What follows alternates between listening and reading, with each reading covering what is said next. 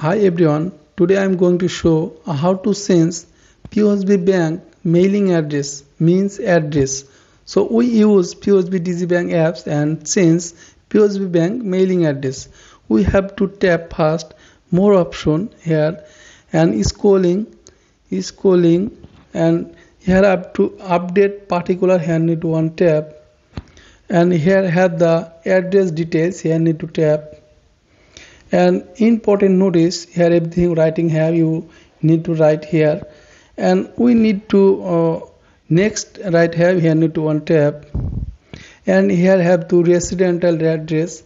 This address have before old one so need to update or sense so here write have update here need one tab.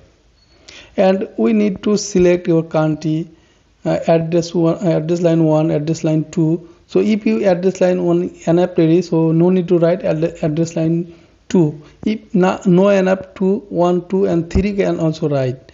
So whenever update then downside has save uh, save this uh, just step one save then your address uh, save ready.